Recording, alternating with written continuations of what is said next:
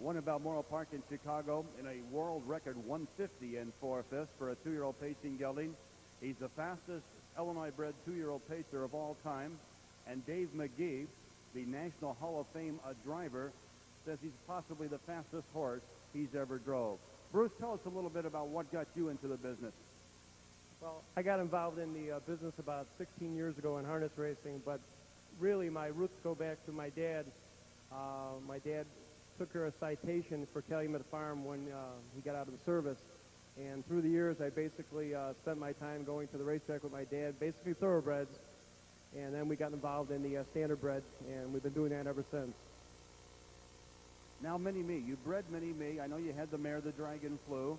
You had uh, Dudley the Dragon, who was a nice horse. But when did you start to see that Mini Me was something special?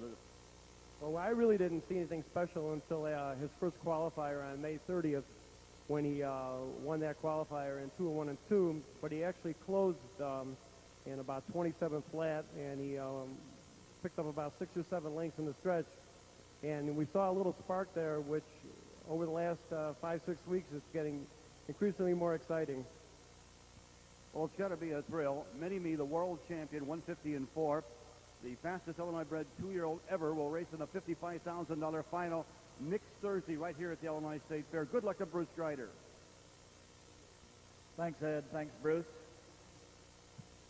And here's the order.